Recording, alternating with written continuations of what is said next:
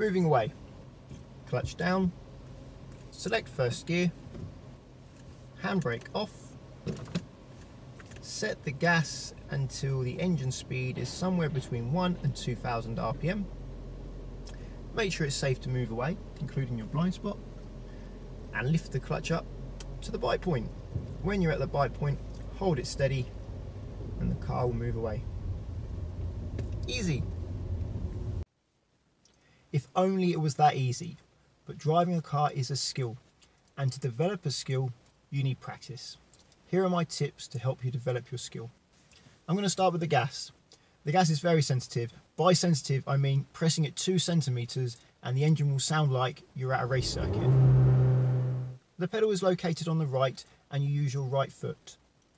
You need the engine running with the car in neutral to practice the gas.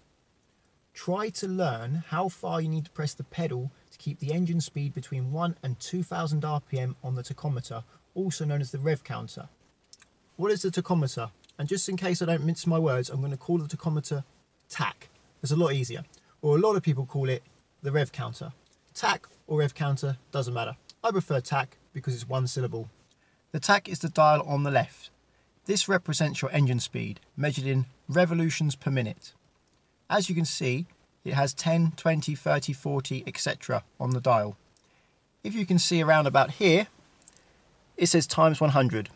So that basically means this means 1000, 2000, 3000. And RPM means revolutions per minute. That's how fast the engine is spinning. When I start the engine, the engine will spin at around about 750 RPM or revolutions per minute. When you're practicing the gas, this is what you're trying to keep between 1000 and 2000 RPM, somewhere around here. As you can see, I'll try now. Anywhere around here is absolutely fine to try and move the car. The vast majority of cars have a tachometer. There are a few on the market that don't. If you have a car that doesn't have one, you need to listen to the engine until it gives you a gentle hum. If it starts to sound too harshly, you're pressing the gas too hard. Personally, I prefer a car with a tach. That way, I can change gear as efficiently as possible, and when I need to accelerate very quickly, it comes in handy then too. A good tip is to press the pedal about the thickness of a pound coin. About that. Like so, and watch the engine revs rise. If you want to increase the engine speed more, press the pedal a couple of millimeters more and wait. It's important to wait because there is a delay. If I don't wait and I press the pedal harder, the engine will probably over rev. Take as long as you like practicing this.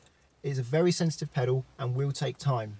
But the more time you spend when the car's not moving practicing the gas, the easier it will be to use the gas when you do start moving. Now I'm going to move on to the clutch. To use the clutch, you need to find the clutch bite point. The clutch bite point is what makes the car move. When you're practicing this, you need to go somewhere very quiet and very flat. I mean flat. No hills at all. If you have hills, that will only confuse you and won't help you learn what the clutch actually does.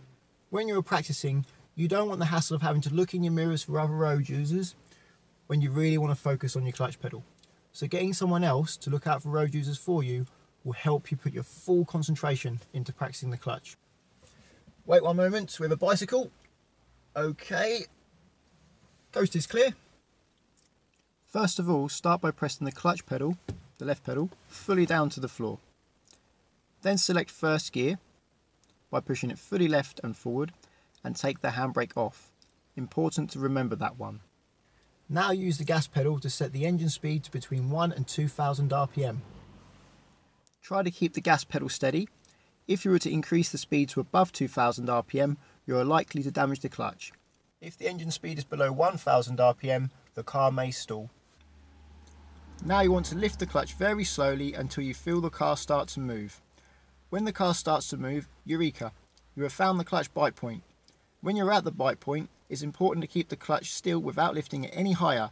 If you lift it higher, the car may stall or kangaroo. A good sign you're near the bite point is the engine will go down in pitch slightly, a bit like this. Mm. When you have moved a couple of meters, press the clutch down and use the brake to stop the car. Once you have stopped, repeat the process. Set the gas to around about 1 to 2000 RPM, lift the clutch up to around about halfway until you hear the engine tone get deeper and the car starts to move and hold it until the car starts moving again and then clutch down and brake gently to stop the car. Keep repeating this process as many times as it takes until you get used to where that clutch bite point is and you feel confident with the gas and the clutch. When you're comfortable with the gas and clutch, it's time to move a little bit further instead of moving only a meter and stopping. To do this, simply find the gas and the clutch bite point like you have been, but this time, instead of pushing the clutch back down and using the brake, hold the clutch steady. Normally this takes around about three or four seconds, but the engine tone will start to increase in pitch, kind of like this sound. When that sound happens, you can come fully off the clutch and then the gas pedal is used to control the speed.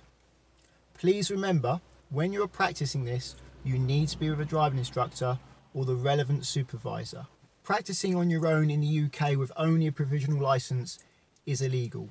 Also, it's a very good idea to get the supervisor to be looking out for other road users so you can put your full concentration onto learning your pedals. So, as simple as it may or may not be, to move away, clutch down, select first gear, take the handbrake off, use the gas to increase the engine speed to between 1 and 2000 RPM, use your mirrors to make sure it's safe to go, including your blind spot, and then lift the clutch to the bite point. When you're at the bite point, the car starts to move. So I'm not lifting the clutch any higher once I'm at the bite point until the engine pitch goes up, in which time I can come off the clutch fully and I'm moving. So there you go. Now know how to move a car. I'm planning to make a full repertoire of videos for learning to drive in the UK and passing your driving test. My next video will be all about observations and signalling before you move away. Please subscribe to get new videos as I upload them.